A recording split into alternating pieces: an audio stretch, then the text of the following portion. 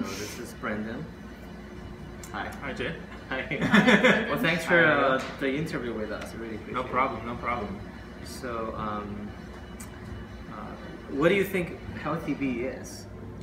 Uh, it looks like you guys are embarking on a, a way to better educate and curate um, the long journey from pre-pregnancy through, you know, early parent, early parenthood, Yeah. um, really being able to provide the tools and devices that parents otherwise wouldn't be exposed to.